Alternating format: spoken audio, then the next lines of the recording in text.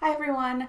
Welcome to Teen First Chapter Fridays. My name is Jess. I am a librarian at the Tippecanoe branch of the Milwaukee Public Library here in Milwaukee, Wisconsin. Uh, coming to you today from my bookshelf at home.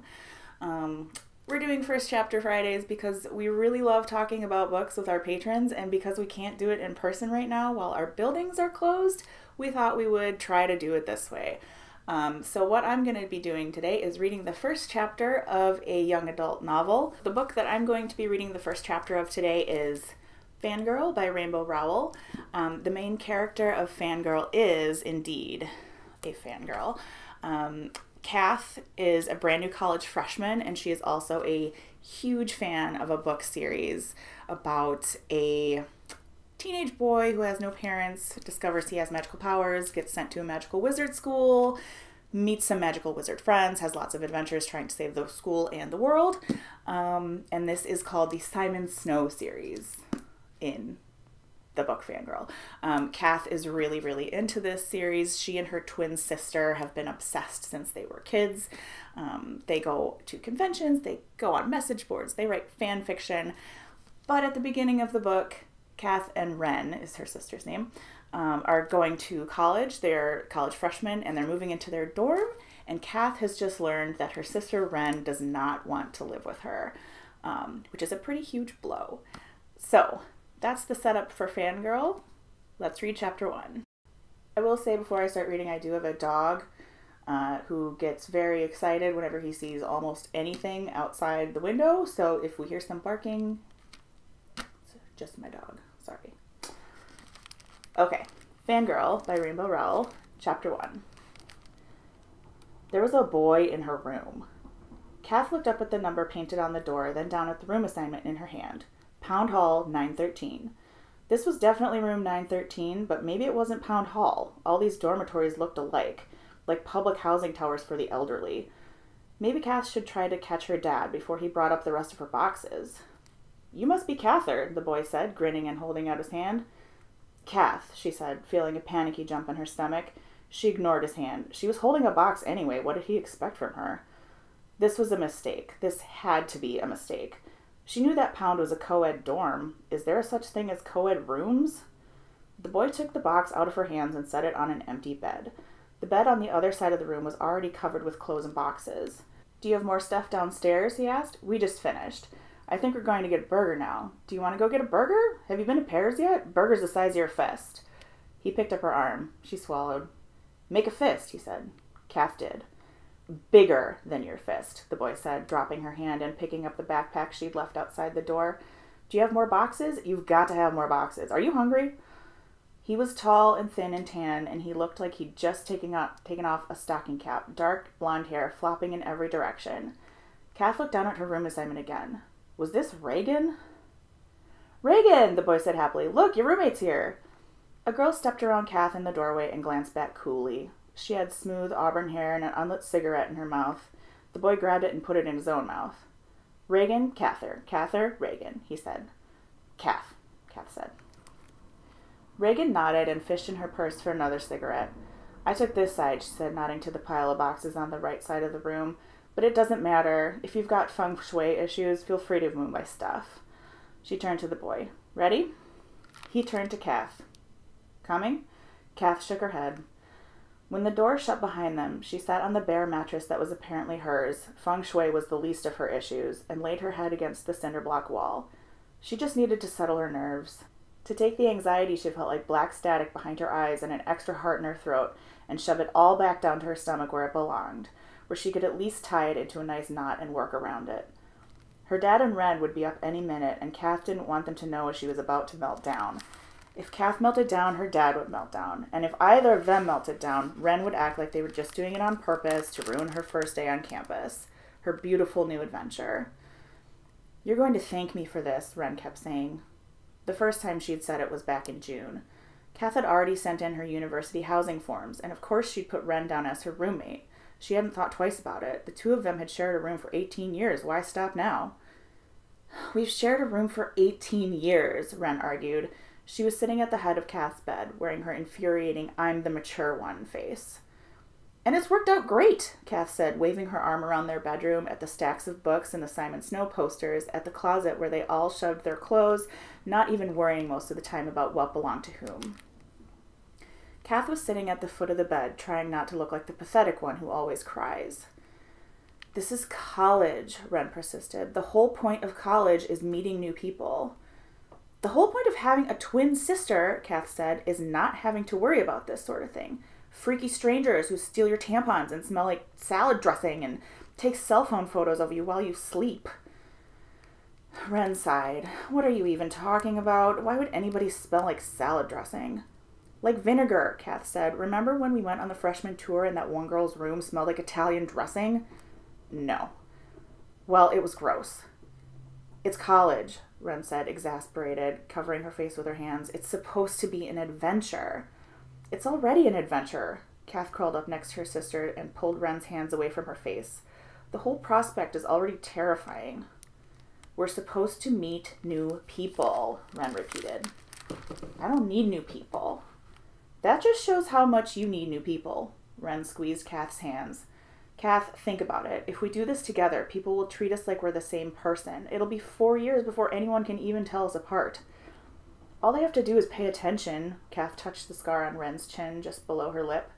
Sledding accident. They were nine, and Wren was on the front of the sled when it hit the tree. Kath had fallen off the back into the snow. You know I'm right, Wren said. Kath shook her head. I don't. Kath, please don't make me do this alone. You're never alone, Wren said, sighing again. That's the whole effing point of having a twin sister. This is really nice, their dad said, looking around pound 913 and sending a laundry, setting a laundry basket full of clothes and shoes on Kath's mattress. It's not nice, Dad, Kath said, sitting stiffly by the door. It's like a hospital room, but smaller and without a TV. You've got a great view of campus, he said. Wren wandered over to the window. My room faces a parking lot. How do you know? Kath asked. Google Earth. Wren couldn't wait for all this college stuff to start. She and her roommate, Courtney, had been talking for weeks. Courtney was from Omaha, too. The two of them had already met and gone shopping for dorm room stuff together. Kath had tagged along and tried not to pout when they picked out posters and matching desk lamps.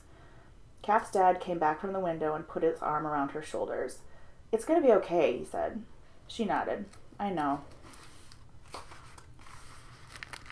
Okay, he said, clapping. Next stop, Schramm Hall. Second stop, Pizza Buffet. Third stop, My Sad and Empty Nest. No pizza, Wren said. Sorry, Dad. Courtney and I are going to the freshman barbecue tonight. She shot her eyes at Kath. Kath should go too. Yes, pizza, Kath said defiantly. Her dad smiled. Your sister's right, Kath. You should go. Meet new people. All I'm going to do for the next nine months is meet new people. Today I choose Pizza Buffet. Wren rolled her eyes. All right, their dad said, patting Kath on the, on the shoulder. Next stop, Schramm Hall. Ladies, he opened the door. Kath didn't move. You can come back for me after you drop her off, she said, watching her sister. I just want to start unpacking. Wren didn't argue, stepped out into the hall. I'll talk to you tomorrow, she said, not quite looking, turning to look at Kath. Sure, Kath said. It did feel good unpacking putting sheets on the bed and setting her new, ridiculously expensive textbooks out on the shelves over her new desk. When her dad came back, they walked together to Valentino's. Everyone they saw along the way was about Kath's age. It was creepy. Why is everybody blonde? Kath asked. And why are they all white? Her dad laughed. You're just used to living in the least white neighborhood in Nebraska. Their house in South Omaha was in a Mexican neighborhood. Kath's was the only white family on the block. Oh God, she said, do you think this town has a taco truck? I think I saw a Chipotle. She groaned. Come on, he said. You like Chipotle. Not the point. When they got to Valentino's, it was packed with students. A few, like Kath, had come with their parents, but not many. It's like a science fiction story, she said. No little kids, nobody over 30. Where are all the old people? Her dad held up his slice of pizza. Soylent Green. Kath laughed. I'm not old, you know. He was tapping the table with the two middle fingers of his left hand. Forty-one. The other guys at my age, my age at work, are just starting to have kids. That was good thinking, Kath said, getting us out of the way early. You can start bringing home chicks now. The coast is clear. All my chicks, he said, looking down at his plate. You guys are the only chicks I'm worried about. Ugh, Dad. Weird. You know what I mean. What's up with you and your sister? You've never fought like this before. We're not fighting now, Kath said, taking a bite of bacon cheeseburger pizza. Oh, geez. She spit it out. What's wrong? Did you get an eyelid? No. Pickle. It's okay. I just wasn't expecting it. You seem like you're fighting, he said. Kath shrugged. She and Wren weren't even talking much, let alone fighting. Wren just wants more independence. Sounds reasonable, he said. Of course it does, Kath thought. That's Wren's specialty, but she let it drop. She didn't want her dad to worry about this right now. She could tell by the way he kept tapping the table that he was already wearing thin. Too many normal dad hours in a row. Tired? she asked. He smiled at her apologetically and put his hand in his lap. Big day. Big, hard day. I mean, I knew it would be. He raised an eyebrow. Both of you, same day, whoosh. I still can't believe you're not coming home with me. Don't get too comfortable. I'm not sure I can stick this out a whole semester. She was only slightly kidding, and he knew it. You'll be fine, Kath. He put his hand, his less twitchy hand, over hers and squeezed. And so will I, you know? Kath let herself look in his eyes for a moment. He looked tired and, yes, twitchy but he was holding it together. I still wish you'd get a dog, she said. I'd never remember to feed it. Maybe we could train it to feed you. When Kath got back to her room, her roommate, Reagan, was still gone. Or maybe she was gone again. Her boxes looked untouched. Kath finished putting her own clothes away, then opened the box of personal things she'd brought from home. She took out a small photo of herself and Wren and pinned it to the corkboard behind her desk. It was from graduation, both of them wearing red robes and smiling. It was before Wren had cut her hair. Wren hadn't even told Kath she was going to do that, just came home from work at the end of the summer with a pixie cut. Looked awesome, which probably meant it would look awesome on Kath too.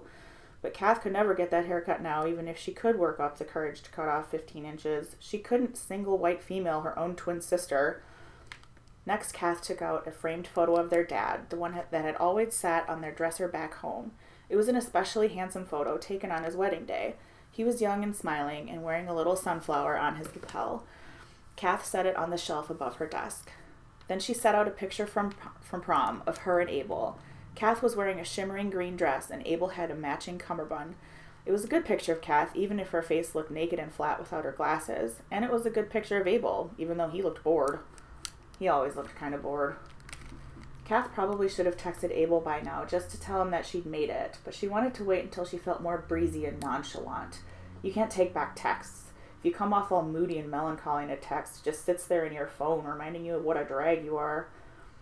At the bottom of the box were Kath's Simon and Baz posters. She laid these out on her bed carefully.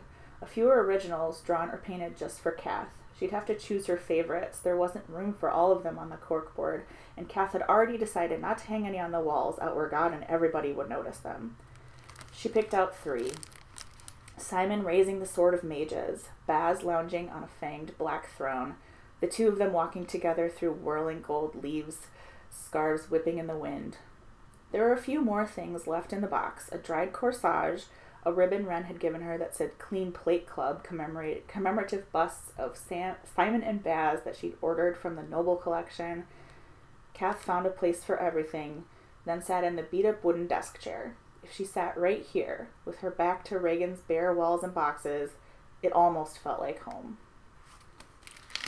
And that is the end of chapter one. Um, so, Fangirl is a contemporary um, contemporary YA novel by Rainbow Rowell, who also wrote Eleanor and Park, which is another great book. If you like um, contemporary young adult books, that's a great one to check out. Um, if fantasy is more your thing, you should check out Carry On by Rainbow Rowell. Um, this is Rainbow Rowell's um, take on the Simon Snow series. So she she had Kath be obsessed with it, and then she started to write it. Um, so Carry On is awesome. It tells the story of Simon and Baz, um, who both attend the same magical wizard school, have to fight evil. And it's super creative. It's got a really interesting magic system. Um, awesome characters. It's super fun. The dialogue is great. It's very funny. Um, that's super. So that's Carry On. The sequel to Carry On, called Wayward Son, just came out earlier this year. Also great. Um, and there is a third book that Rainbow Rowell is working on. Um, I don't know when that'll be out, but it's called Any Way the Wind Blows. Um, the audiobook of Carry On is available in Hoopla. Uh, Fangirl, Carry On, and Wayward Son are all also available in Libby um, if you would like to try to check them out digitally. So, thank you all very much for joining me for First Chapter Friday. I hope you enjoyed the first chapter of Fangirl, and we can't wait to see you back in our buildings when the library is able to reopen.